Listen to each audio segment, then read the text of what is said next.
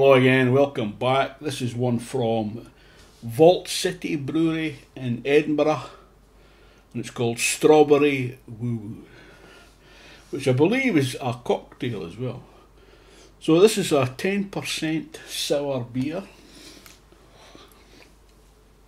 Let's have a look. Oh, it's 9 9%. I beg your pardon. Strawberry Woo. 440ml can. Woo your taste buds with our latest high voltage sour inspired by a modern classic. We've jam packed this vegan friendly beer with mountains of strawberry sweetness for dazzling colour and unmistakable aroma. Combined with our sour based beer, the result is a beautifully balanced flavour that's punchy and refreshing. So grab your favourite cocktail glass and get ready for some fruity fun. Let's get it in the glass.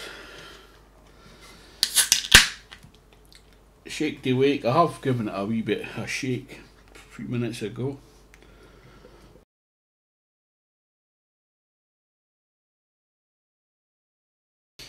So let's get a look at it in the glass. It looks like a, a pale strawberry jam. There's definitely a reddish hue to it.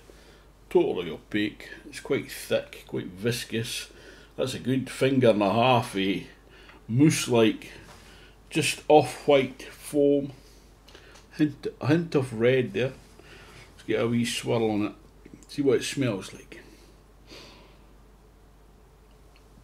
Strawberries.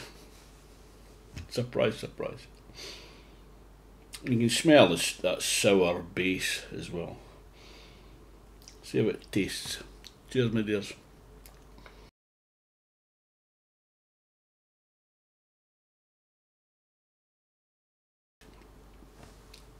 That is very good.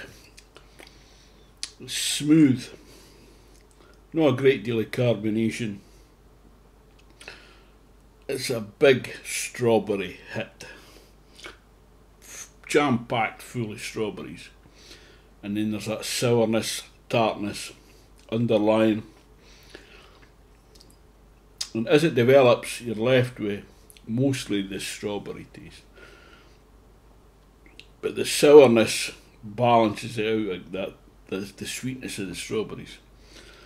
So it's an absolute cracker. Nine percent is totally hidden. This is a beauty. Try it if you can find it. Well worth it, although I think it's quite expensive. I noticed it's sold out on the Vault City website, so it might be available elsewhere. Thanks for watching. I'll see you next time, hopefully. Ta ta for now. Cheers, my dears.